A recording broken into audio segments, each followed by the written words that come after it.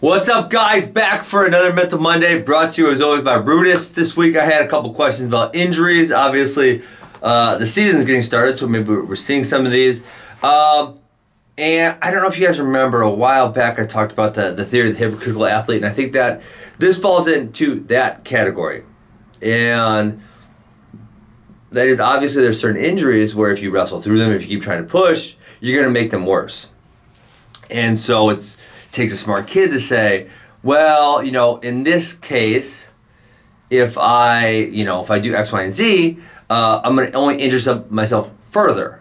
And so I need to hold back, right? And a lot of times coaches will push against that and it kind of takes a strong kid to stand up for himself and say, no, this is, this is what I need at this point. I know one, one point in my career, and I was lucky, especially the, uh, in college, to have coaches that really trusted me, believed in me. And after the Big 12 tournament my senior year, I hurt my ribs really bad in the, in the finals. And I said, I said to Coach Smith, I said, listen, Coach Smith, I can win the Nationals being out of shape, not practicing. I can't win the Nationals if I hurt this bad. And he said, okay, do whatever you need to do. And so for the next, uh, you know, whatever it was 12 days or whatever before the NCAA started, I didn't train at all. I just let myself rest, heal. Uh, I think I ended up being able to bike a little bit. And, and but that was exactly what I needed. Um, and so he had the faith in me that I was telling him the truth about my injury. Obviously, I'm a senior, so at that point, hopefully, hopefully he had that faith in me. Um, but had I kept trying to push through that, I might have been injured so bad that I wouldn't have been able to do that. And so, you know, that, again, that was me knowing myself. And then there's certain times when there's injuries that, you know, they're just going to be there. They're just going to be lingering and nagging, especially now as I get older. I'm finding more of those and yeah, an active competition is not going to make them any worse. And so, you know, knowing when to say, hey, I can push through this, I can deal with this, this is just pain, but it'll be okay. And then knowing to say, hey, man, this is going to hurt me a lot worse. I'm going to, I need to step back. I need a week, I need two weeks, especially, you know, if we're in the high school or college right now, you guys should be saying, well, it's well, it's December now. I was going to say November. It's December. But my state tournament's not till February. My national tournament's not till March. And so, you know, taking a couple weeks to now take some time off and get healthy is going to be significantly better than trying to take that time off in you know January or February and or right performing suboptimally because you're hurt the entire year. So both both of those are bad solutions. Um, so again, kind of hypocritical there, right? You, you have to know yourself. You have to be smart. You have to be able to uh, uh tell that to coaches when they're pushing you because they they don't they're not inside your body. They don't know how much you hurt. Um, and then the other thing I want to talk about is.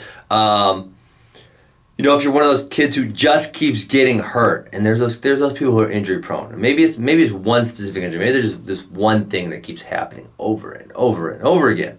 Um, and so for me, I'll, I'll, tell you guys a story about myself. Is when I was 16 or 15. You know, it was after Fargo, my um, sophomore year in high school. So however old I was, I think maybe 16 at that point. I think I just turned 16. Um, and I had a bad, pretty bad neck injury and the doctor, obviously, doctors are, are way more dramatic than necessary. he said, "Well, you you should probably never wrestle again." Okay, all right. Well, that that wasn't even a, that wasn't even a suggestion in my mind at that point. And so, but obviously, I said, "Okay, this is something I should probably take pretty seriously." And I, I spent so much time in the next, you know, because obviously I was the end of July, so I didn't. And back then we didn't have any fall competition. You couldn't even compete in the fall if you wanted to. So you know, I didn't compete until November, so I had a good four months. Um, I spent a lot of that time getting my neck strong. I did so many neck exercises that I figured if I make my neck strong enough, there's a good chance of not getting hurt. And so I spent so much time on my neck. And so obviously, you know, for certain kids, if it's another injury, it could be maybe a flexibility issue, it could be a strength issue, it could be a stability issue. And so take the time uh, to, to get that better. And then I know obviously after my um, junior year of college, the same neck injury reoccurred and, and I kind of had to go through the same process. I took some time off. I just did, spent so much time with the neck strength issue. And now obviously I've been um, competing still for the last, what that was 2006, the last 12 years, have not had that issue come back again. And I think a lot of it's due to the time I put in the strength of my neck. So we kind of hit a lot of things there. That was all about injuries. That was number one, being hypocritical, knowing when you need to take time off and not act like a tough guy because it's going to hurt it more.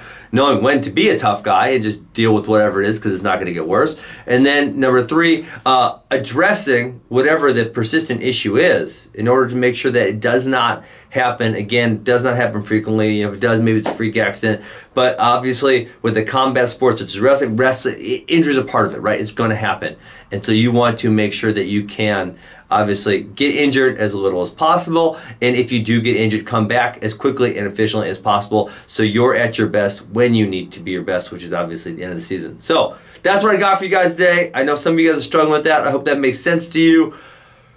I hope uh, you guys can keep sending me questions. I love when I get questions. You can send those to the Askren Academy Facebook page and or Rudis, and I will get them and I will answer them. Have a great Monday. See you later.